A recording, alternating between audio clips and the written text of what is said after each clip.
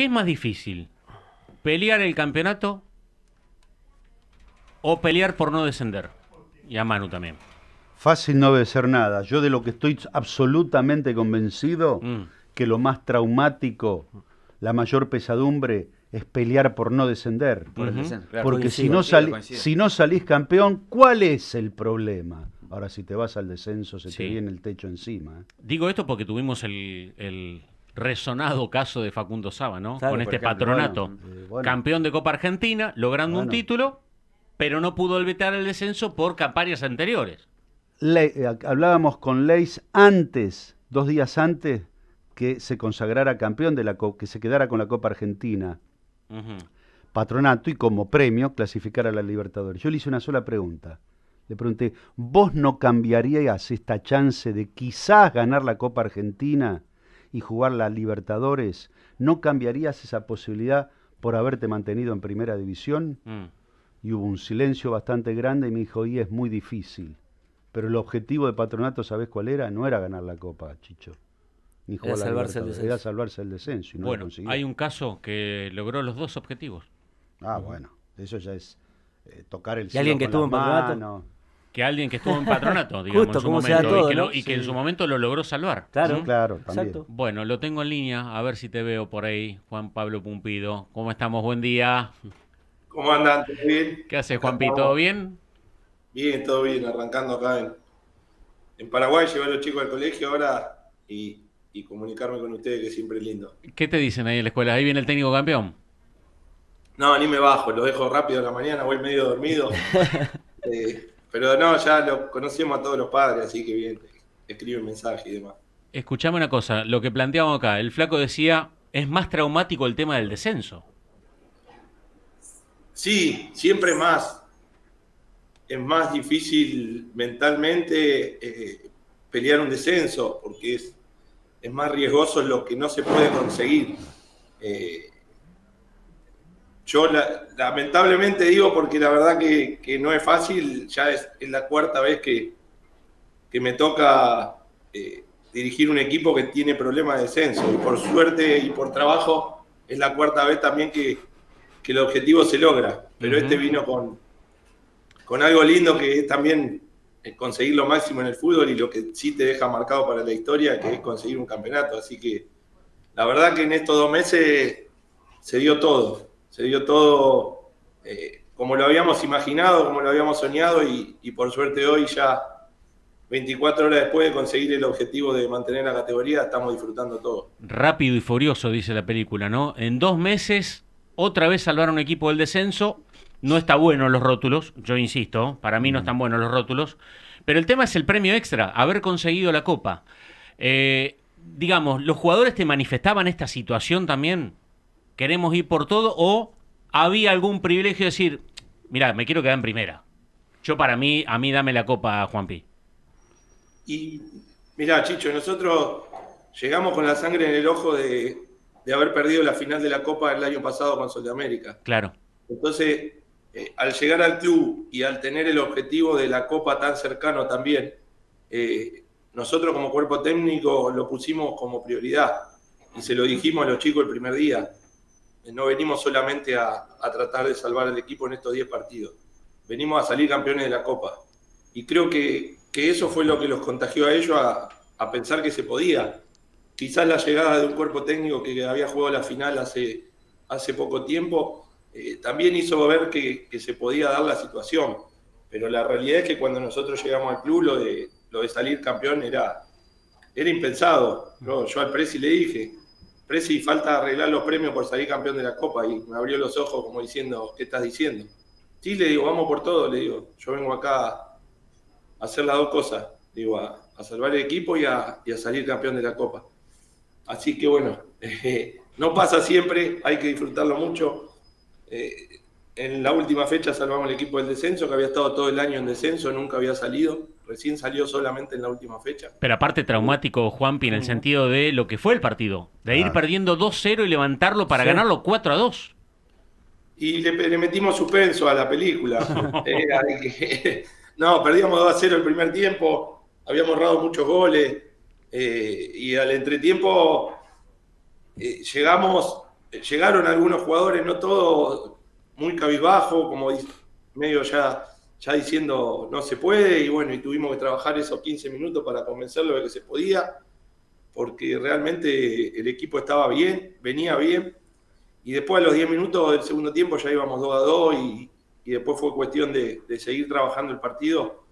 Erramos muchísimos goles para el 3 a 2 y llegó faltando 5 minutos y bueno, después el 4 a 2 que confirmó todo, más el final eh, en la otra cancha que, que había empatado General Caballero contra Sol de América y, eso ya nos daba que con la victoria nos quedábamos en primera. Mm.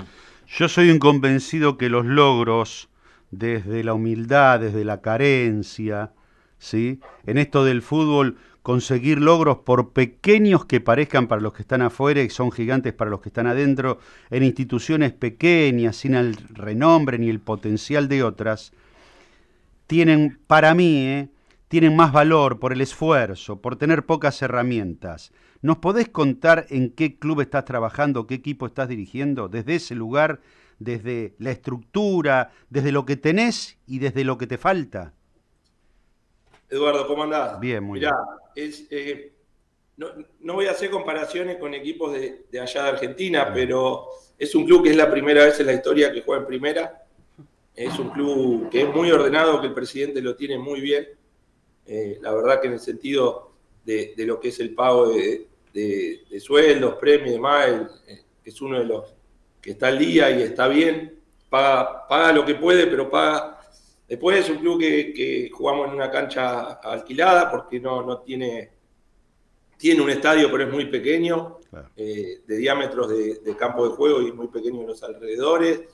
Eh, es un club que está conociendo lo que es el, el, fútbol profesional, lo que es la primera división y, y, es todo a pulmón. Eh, no me hable de GPS y esas cosas, no, no están, hay chicos que terminan de entrenar y se van a trabajar, eh, el chico que hizo el gol en la final eh, gana más plata colocando aire acondicionado que en lo que es el, club, y hay muchos otros chicos también que, que, van a trabajar, pero bueno, se dieron cuenta que podían lograr cosas a pesar de, de, todas esas situaciones, que eso es lo más importante. Y, y uno quizás con el correr de las horas y con el correr de los días le va a dar más, mucho más mérito a lo que se logró por, por la forma y por el, por el cómo y por las herramientas que uno contaba. Eh, hay una realidad, acá eh, en el año en Paraguay hubo tres campeones. Uno es Libertad, que es el equipo más poderoso desde la economía, otro es Olimpia, que es el equipo más grande, y otro es Ameliano. Y, y en la historia va a quedar eso. O hay tres campeones y uno es uno es Ameliano, que salió campeón de la Copa y, y se dio el premio de jugar la Supercopa el año que viene contra Olimpia y la Copa Sudamericana también, que, que en el primer año en primera eh, lograr todo eso, la verdad que, que, va a quedar grabado en la historia no solamente de Ameliano, sino del fútbol paraguayo. Y bueno, pero por eso eh, mi pregunta ahora es la siguiente, desde esa humildad y con el logro deportivo que les da acceso a jugar competencia internacional, Juanpi, ahora los invitaron a sentarse a una mesa a la que no están acostumbrados a sentarse. ¿Que, ¿Cómo viene ahora la historia? ¿Cómo hacen ahora? ¿Cómo haces con el técnico de aire acondicionado para decirle, mirá que ahora vamos a necesitar quizás más tiempo tuyo? Se vienen viajes, más dedicación. Es un mundo distinto, afortunadamente, con el que ahora se van a topar, ¿no? Sí, sí, va a ser diferente. Eh, pero bueno, ahí tampoco eh, hay que modificar mucho. Creo que el presidente del club tiene los pies sobre la tierra y lo más importante que, que tiene es que sabe el club que tiene, no es que se cree que es otra cosa. Entonces, a partir de saber lo que uno es, claro. eh, las cosas se pueden ir logrando. Ahora sí, le cambia el panorama, el club puede seguir creciendo, que es una realidad, porque ahora el club va a recibir un dinero importantísimo por seguir en primera, que si descendía no, no lo iba a conseguir, y el club está proyectando un un complejo deportivo y un estadio que ya, ya lo están empezando. Y, y, el Presi fue una de las cosas que me dijo. Me dice, Juanpi, necesito sí o sí seguir en primera porque si no, no tengo forma de seguir haciendo crecer al club. Claro. Y, y, para crecer al club necesita economía. Y a partir de todos los logros que nosotros tuvimos, la economía llega para, para el año que viene y el club va a poder seguir creciendo. Creo que va a ir de la mano una cosa de la otra. Mientras Maño siga en la alta competencia, más posibilidad de crecimiento le va a poder dar al club y le va a poder dar a los jugadores que, que tiene el club. Claro. Eh, vos sabés que antes en la pausa, cuando estábamos esperando el contacto con vos, yo le comentaba acá en la mesa a Chicho, a Julián Bucolini, a Manuel Olchese, de, de tu debut, que me tocó vivirlo en primera persona. ¿Vos te acordás cómo, cuál fue tu debut como técnico de Unión en primera? 6 de noviembre en cancha de Atlético Tucumán. El flaco, vos sabés que te recién decía. estuve- Compartimos eh, hasta el mismo hotel. El Y Hotel no sé si es República. casualidad o no, pero el 4 de noviembre salimos campeones, dos días antes de que debuté, seis años antes. Claro, fíjate vos.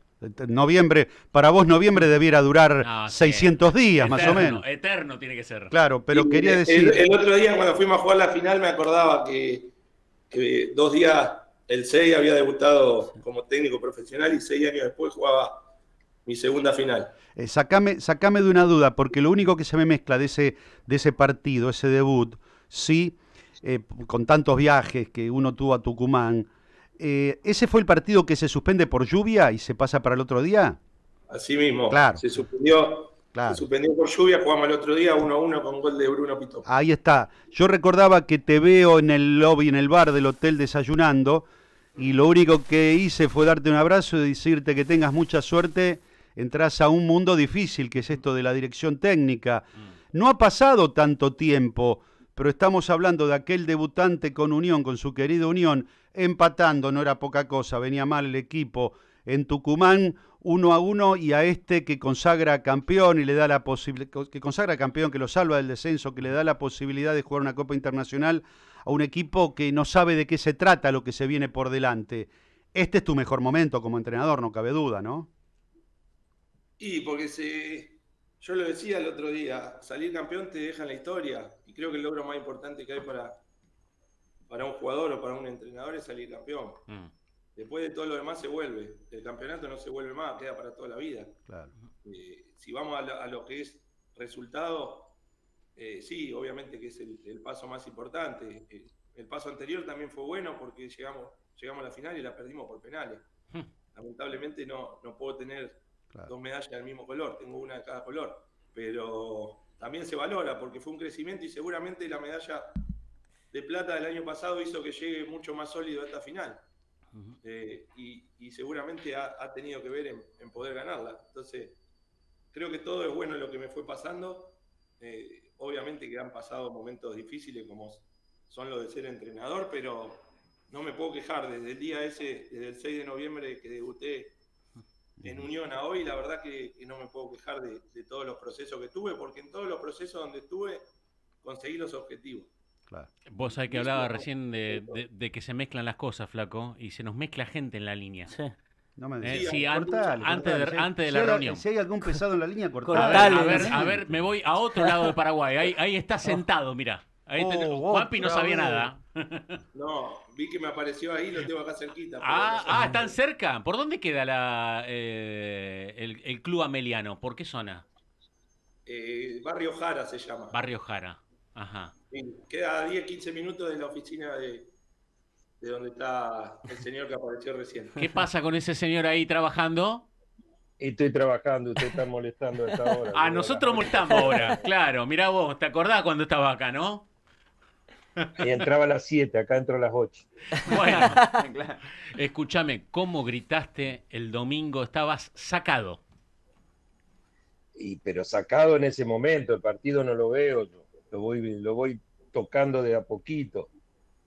Es difícil, es difícil de este lado, es más, es más, es más lindo estar adentro, pero es más difícil cuando uno es padre y en el, en el momento de los partidos sufre más que cuando, cuando uno dirigía, eso sin lugar a duda, ¿no? O sea, vos sufrís más cuando Juanpi está del otro lado de la calle que vos mismo.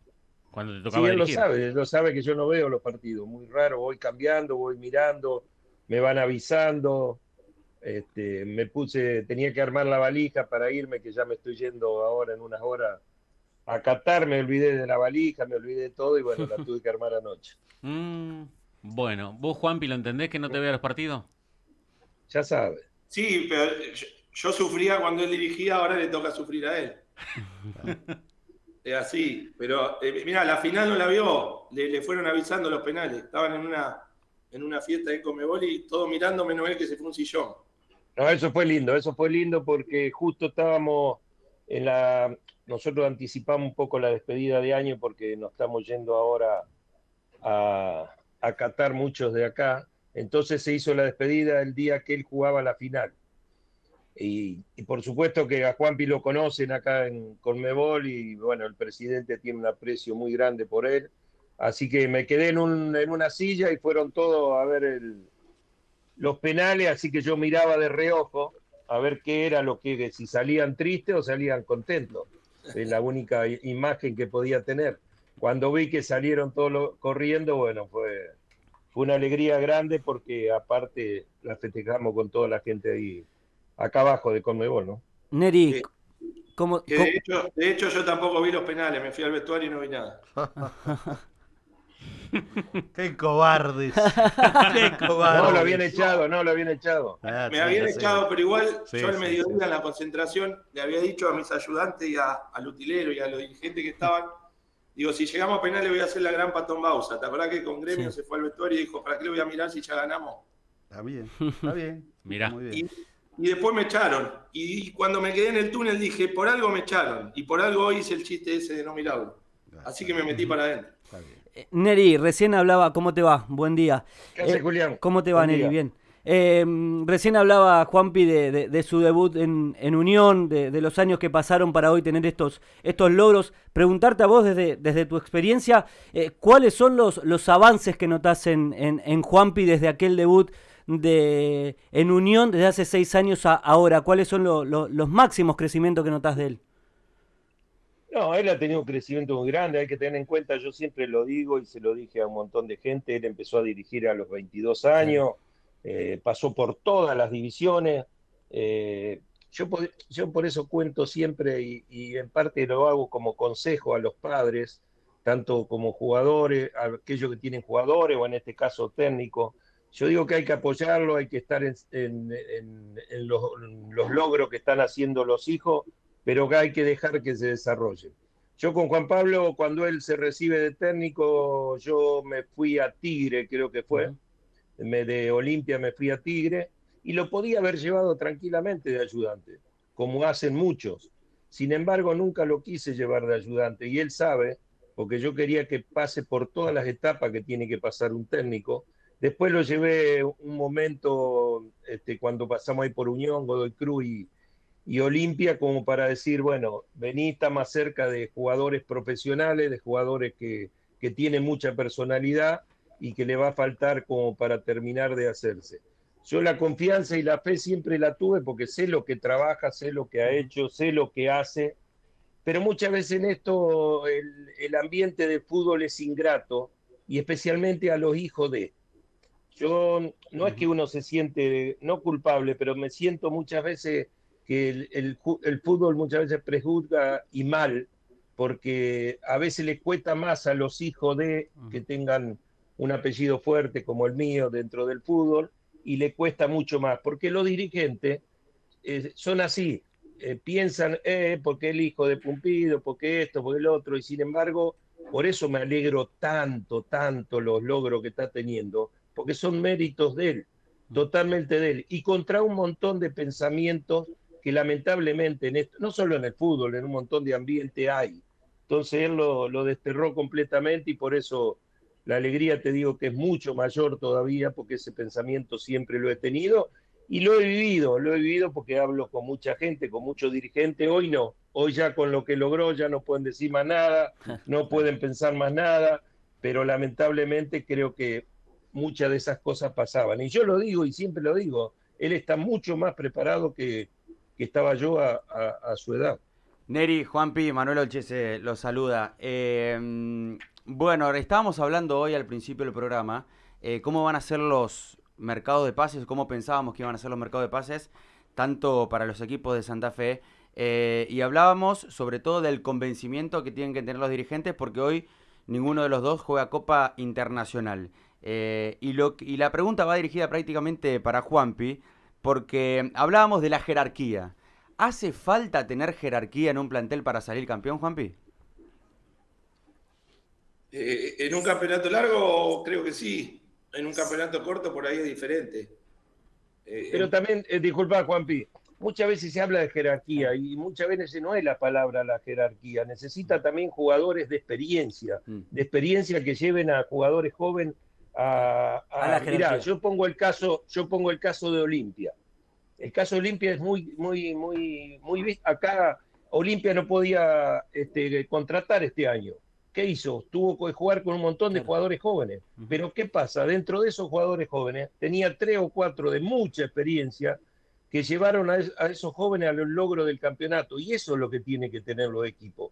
Jugadores que sepan manejar dentro de un grupo. Acá lo tienen a Richard Ortiz, lo tienen a, a Derly González, que son tres o cuatro, una estructura este, que le dio un resultado. Ante Olimpia a lo mejor pensaba distinto, pensaba que tenía que traer jugadores de mucho nombre, jugadores de jerarquía y no salían campeón y gastaron fortuna y hoy deben 50 millones de dólares y sin embargo este año lo compusieron con cuatro o cinco jugadores de experiencia más jugadores jóvenes. Eso es lo que tienen que tener los planteles. Jugadores de experiencia que lleven a aquellos jóvenes dentro de un plantel. Y Unión tiene experiencia como eso. Ha pasado años anteriores, ¿se acuerdan cuando debuta Mosé? Es porque tenía Trota adelante. En el medio campo siempre había jugadores de experiencia. En la época que yo dirigía Unión lo tenía a Cabrol, a Domisi, he dirigido Trota, Caballero y llevaron a un montón de pibes a que se consagraran. Ese, esa- ese equipo debutaron 12 chicos, 12 chicos que después siguieron con el tiempo hasta hace muy poquito, que bueno,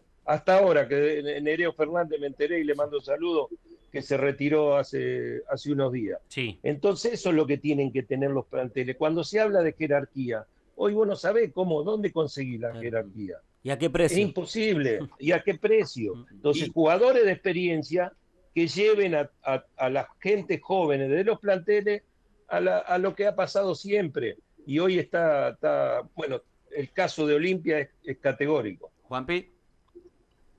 Sí, no, y después, ¿qué, qué es la jerarquía? Fue muy amplio también. ¿Qué es la jerarquía? Yo, yo la jerarquía, la- a un jugador de jerarquía lo, lo- lo defino como un jugador que sabe tomar las mejores decisiones en los momentos cúlmines. Mm.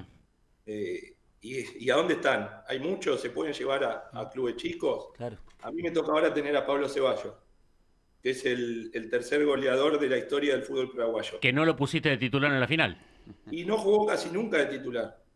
Pero yo sé que, que Pablo, si necesito que cuando las papas quemen entre alguien a agarrar la pelota y que tome buenas decisiones, Pablo. Pablo no me jugó la final, lo puse faltando 30 segundos para patear el penal. Eh, le dije, Pablo, venía al lado mío, que cuando falten 30 segundos entras.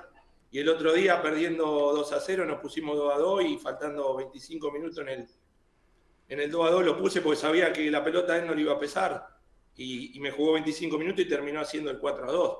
Eh, después, se- hoy se le dice jerarquía a cosas muy pequeñas. Hay que ver realmente qué es la jerarquía y qué jugador tiene jerarquía. A Eh, ver, no Ne- tiene jerarquía para otros momentos límites donde, donde no solamente lo físico y lo técnico eh, trabaja, sino lo mental. Eh, entonces no, no es fácil. Hoy se dice muy fácil, falta jerarquía. Pero hay que ver dónde está la jerarquía y quién la tiene. Yo pongo nombres, por lo menos para mí. Después te puede ir bien o te puede ir mal. Polenta y Alves, para mí son jerarquía, fueron jerarquía.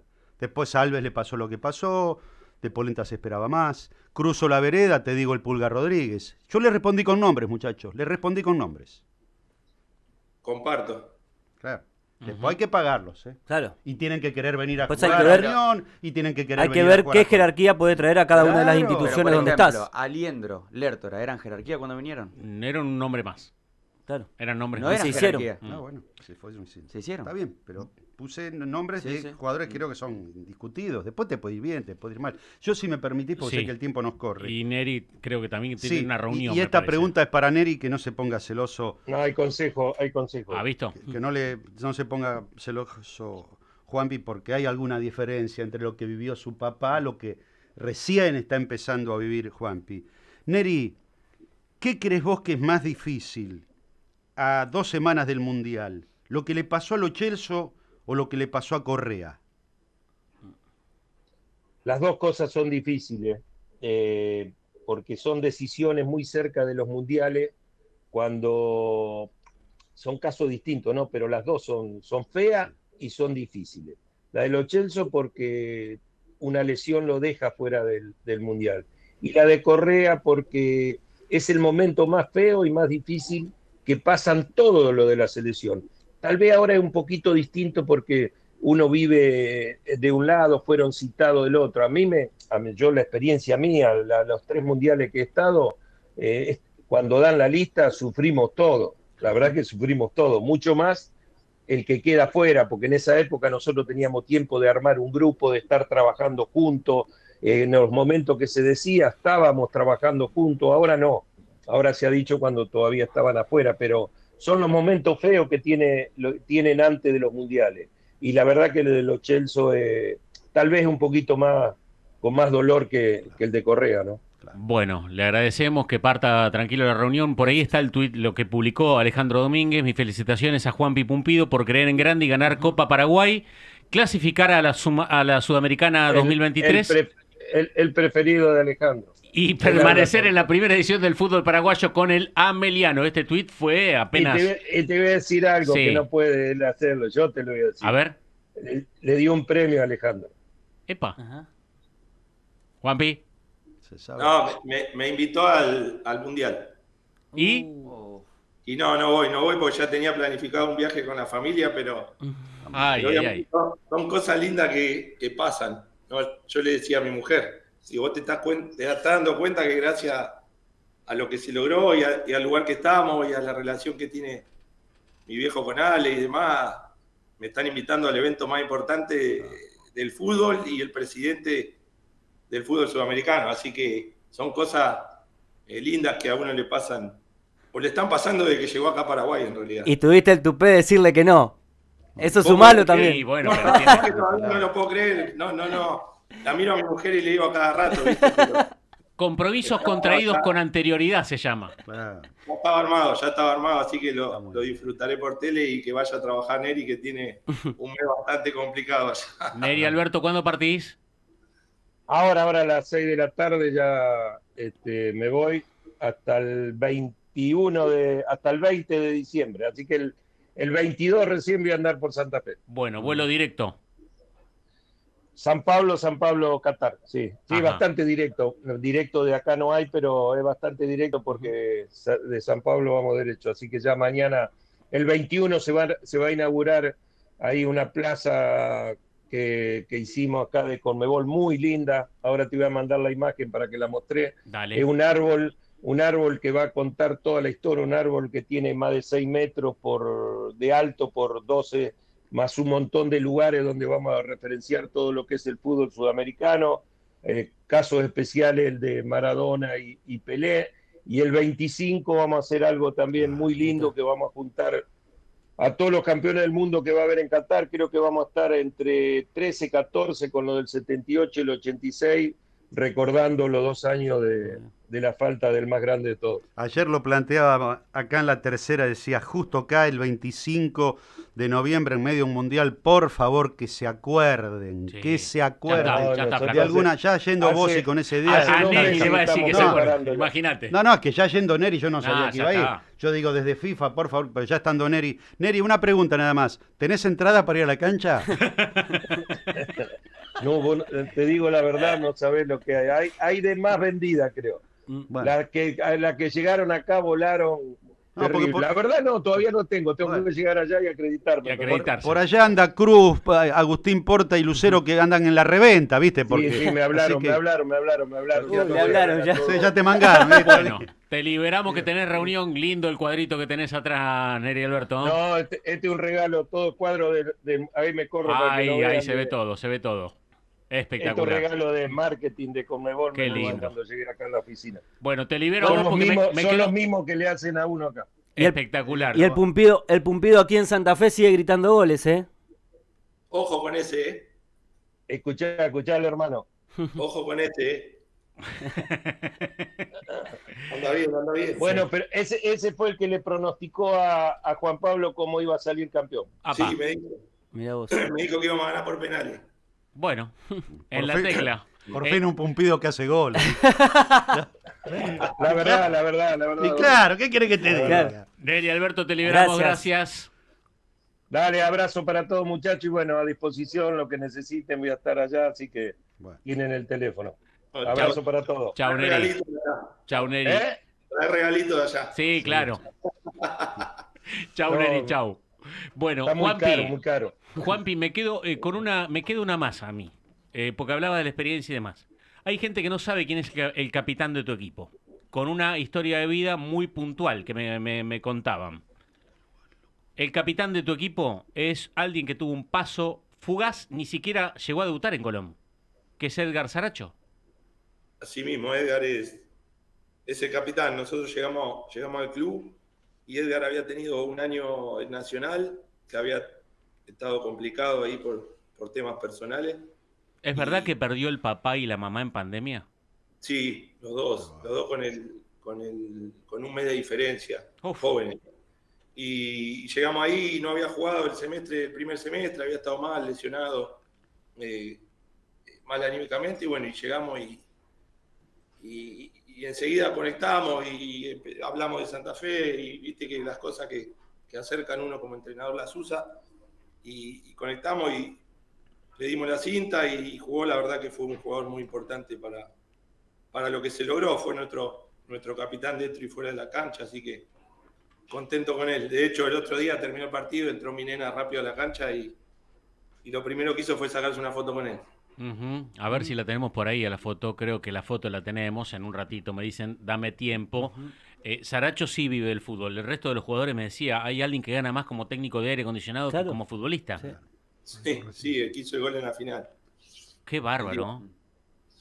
¿Y cómo hacen? Pero bueno, son cosas que, que suceden en este tipo de clubes. Que vos pensás que es la primera vez en la historia que juega en primera división. Hmm.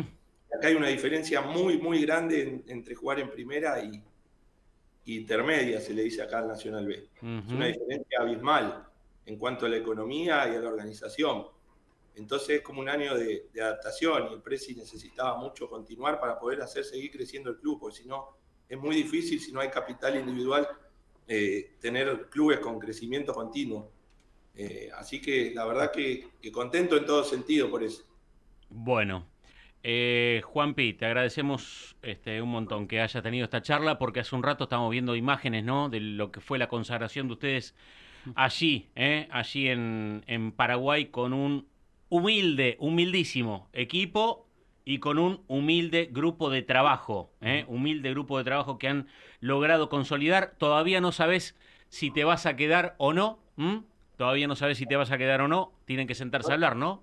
No terminé de festejar todavía, así que no, estamos pensando en eso. Ahora tenemos, tenemos un asado con el plantel al mediodía y, Ah. y vamos a seguir festejando, porque ahora sí realmente después del domingo podemos festejar las dos cosas, porque el campeonato se festejó un poquito, pero a los tres días teníamos que volver a jugar por el descenso, entonces no, no nos dejaba terminar de soltar. Ahora estos días ya, ya festejamos todos juntos. Ah, Mira, ahí estamos viendo la imagen eh, de Edgar Saracho, el capitán, eh, con lo que contaba recién hace un rato Juanpi. Bueno, te mandamos un fuerte abrazo, amigo. eh, Que sigan los éxitos. Hoy sí, ya el asado Ya totalmente está, distendido. relajado. Sí, hoy, hoy relax total. Ahí déjame mandar saludos a, Dale. a la Peña de los Martes, que ustedes la conocen, Bonaveri, Mazzoni, Doné, Gusto Boy, Viñones, Minela, Mm, toda la banda de técnicos esa que iniciamos juntos este sueño en, en Santa Fe Fútbol y que son seguramente parte de, de este logro, como se lo dije a ellos después de ganar. Eh, soñábamos todos juntos lo mismo y, y hoy nos toca a la mayoría de ese grupo, Diego Fernández, eh, llegar a- al fútbol profesional. Así que saludar a ellos, a mis amigos de toda la vida de siempre que, que también están escuchando y que seguramente cuando vaya ahora en unos días eh, vamos a hacer un gran festejo allá. El señor Yori se levantó temprano para escucharte porque estaba durmiendo. Lo desperté. Yori, Yori escucha en diferido porque duerme hasta las 10, me dijo. Claro, en neblina. Se levanta a las 10, ¿no? Sí, Mirá que es un productor de, de fierro. Lo tengo a las seis y media mandándome esa información. no, a mí también. Te A mí tortura. también, te vuelve loco todo el día. Te tortura. No, aparte te habla todo el día de River, River, River y estamos lejos ahora de River. Bueno, Juanpi, un abrazo grande. Seguí disfrutando el mate. Abrazo grande, un gusto siempre hablar con ustedes. Gracias, Bueno, Juanpi. buen Abrazo. chao, chao. Buen día.